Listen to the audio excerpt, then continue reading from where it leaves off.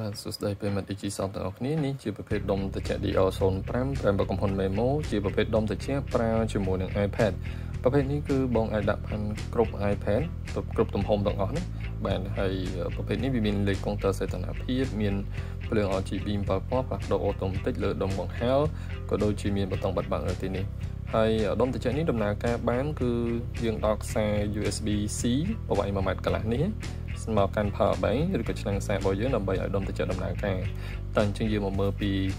ប្រទេសត្រជាក់របស់វាជាប្រភេទអលុយមីញ៉ុមពណ៌ខ្មៅដែលគេរចនាជាសអមហើយប្រភេទនេះគឺត្រជាក់រហ័សលឿន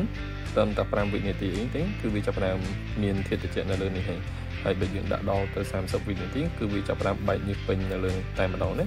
ហើយចំពោះការផ្លាស់ប្ដូរទៅលើទំហំ iPad គឺបងគាត់ទៅដោះទៅលើក្របនីមួយនីមួយទៅតាមទំហំ iPad របស់បងទៅគឺបានទេណាបាទហើយយើងអាចទាញវាឡើងលើចេះបានទាញនៅខាងក្របនេះបានដូចគ្នាណាបាទហើយរុញបញ្ចេញកម្ដៅរបស់វាគឺមាននៅផ្នែកសងខាងដែលកម្លាំងខ្យល់របស់វាគឺបាញ់ប្រឆិតឡើងទៅលើអញ្ចឹងវាមិនធ្វើឲ្យយើងក្តៅដៃទេណាបាទ